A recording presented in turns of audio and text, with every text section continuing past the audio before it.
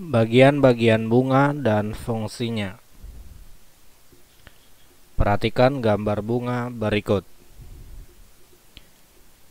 Mahkota bunga. Fungsi dari mahkota bunga adalah menarik serangga agar hinggap ke bunga. Berikutnya adalah kepala sari. Kepala sari berfungsi untuk menyimpan serbuk sari.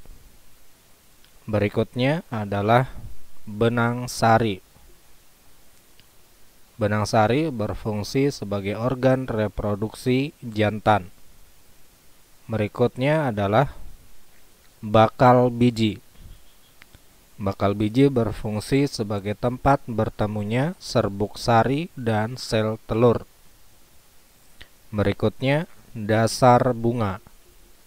Dasar bunga merupakan bagian paling bawah bunga yang berfungsi untuk melekatnya mahkota bunga. Berikutnya adalah tangkai bunga. Tangkai bunga berfungsi sebagai penopang bunga atau penghubung bunga dengan ranting. Berikutnya adalah kelopak. Kelopak berfungsi untuk melindungi atau membungkus bunga sebelum mekar atau waktu kuncup. Berikutnya adalah kepala putik. Kepala putik berfungsi sebagai organ reproduksi betina. Semoga kamu dapat memahaminya dan tetap semangat belajar.